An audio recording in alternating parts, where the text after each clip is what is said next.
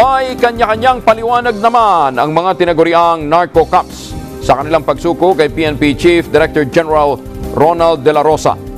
Sinabi ni De La Rosa na may mga pulis na umamin, meron ding nagpaliwanag na nauugnay lamang sila noon ngunit nagbago na ngayon.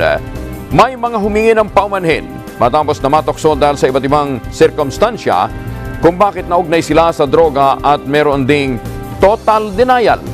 Tayo na niya, isinasailalim pa ang mga ito sa investigasyon bilang bahagi ng due process para sa kaukulang rekomendasyon ng Internal Affairs Service o IAS ng PNP.